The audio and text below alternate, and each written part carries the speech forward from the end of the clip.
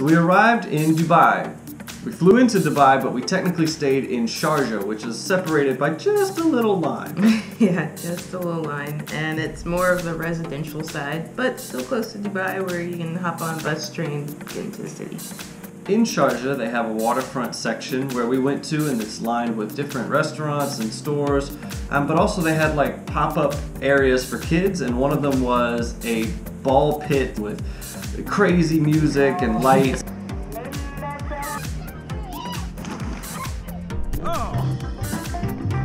So we also ate dinner at a TGI Fridays, which super American, we know.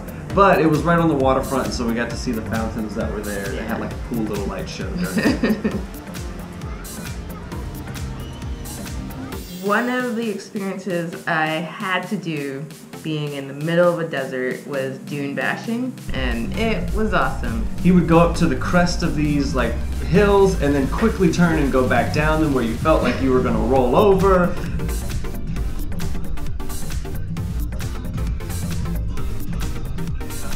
Jai was enjoying himself. He just was like the kid in the back that was just screaming and laughing, and I think that just uh, uh, made her drive it even more excited to like go a little bit faster because he's like, oh, the youngest person in the car is having fun. Awesome.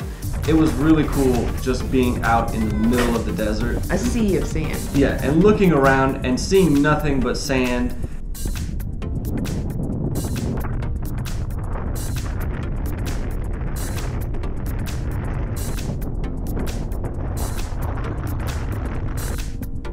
Can you give me a big thumbs up?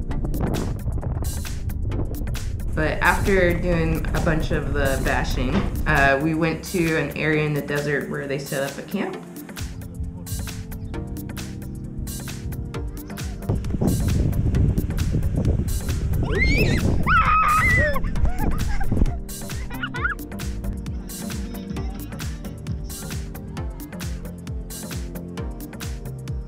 Shisha got me a little faded, bro.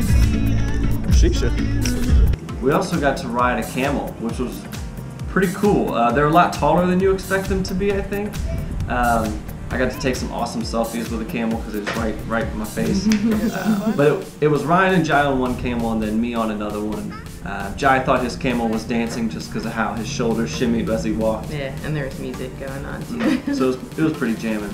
But it was nice being out there for the evening. We got to watch a really beautiful sunset, then walk down the dunes and have a great dinner with um, uh, some people that we were in the 4x4 truck with and had uh, sat at the same table with. So it was just a, a good night. Um, it was a great excursion. One, Yeah. one of my tops on this trip.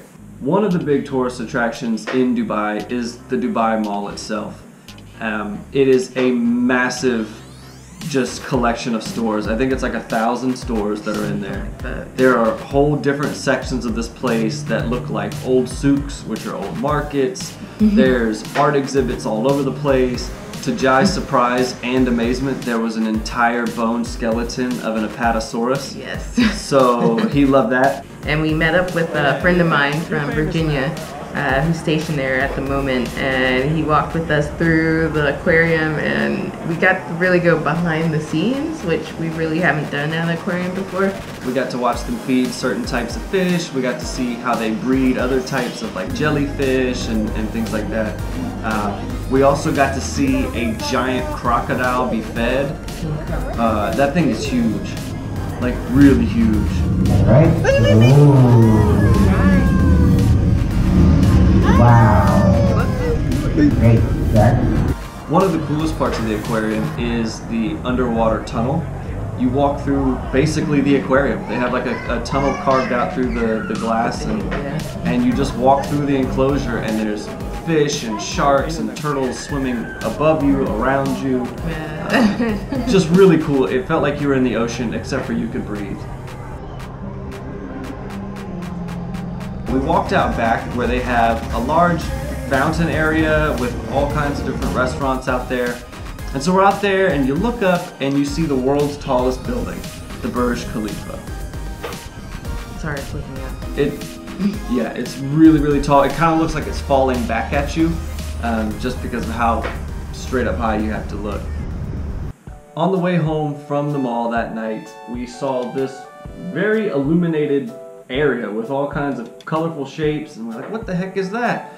Turns out it's Dubai Garden Glow. And we researched it and came back the next night. And it's basically just a whole bunch of cool things lit up by uh, like Christmas lights and or lights underneath the things, shapes like giraffes and flowers and whales and There's even an area in there where uh, there's no like lights, lights, but it was ice, ice carvings. You go into a super cold room. Mind you, we are in Dubai. It's a desert. so we have shorts and short Yeah. sleeve shirts on. They do, however, hand you a jacket, Yes. which is very nice. a very heavy jacket. But my legs were exposed. What kind of Uh, bars do you but we were able to sit on uh, one of the sculptures, but you could tell that a lot of people have been sitting with their body heat, and it's kind of more like a. But there was there was an ice Burj Khalifa in there, ice dinosaurs. We got to go inside of an igloo.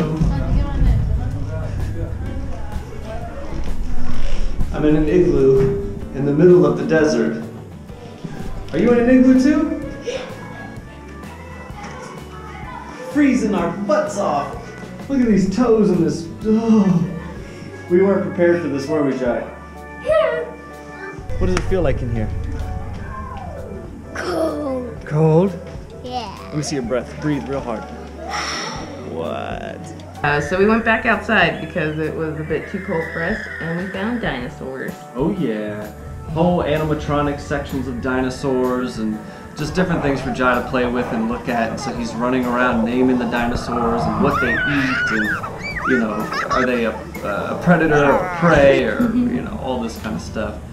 Um, It was just a magical kind of experience baby there. dino. I would say it. You know, it is just lights, and it's just I statues of stuff. But like, where else do you find that?